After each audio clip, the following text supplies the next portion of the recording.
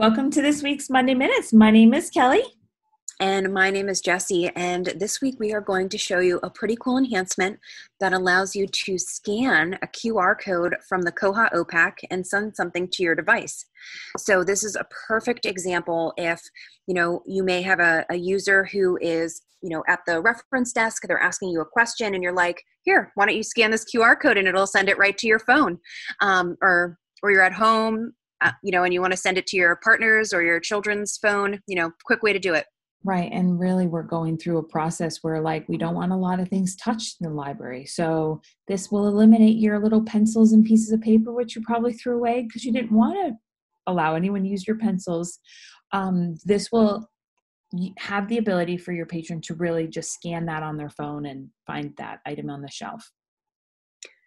So the first thing we're going to do is jump over to the staff side because now there's a new system preference that allows you to enable or not enable it. Mm-hmm. Um, by default, it is not enabled in your system. So we're going to go directly into our Koha administration, come over to our global system preferences and just type in QR. That's going to bring up OPAC detail QR code.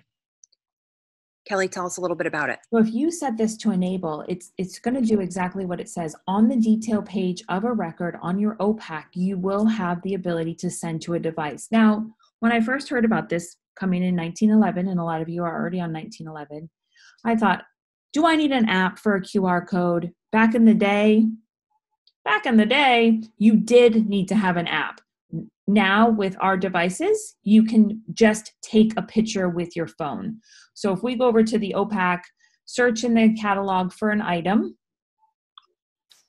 Good old Babysitters Club. Yeah, we hear it's coming hot and heavy back into into the town.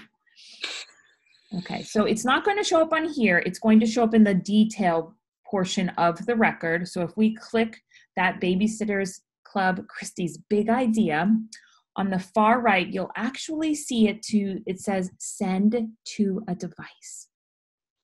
So now when I click on that, it populates a QR code. So I will say in my example, I have an iPhone and there's actually a shortcut that you can just, you know, add and scan QR devices. As Kelly mentioned, it's just using that um, image.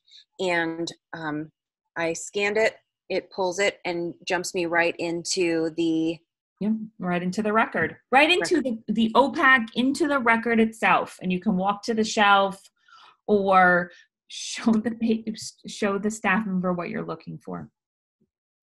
In our great reopening webinar that we just did, um, Catherine from Cedar Park Library in uh, Texas showed the great example of what they've done to set up the reference interaction computers where they mm-hmm. have some plexiglass in front of it. So, yeah.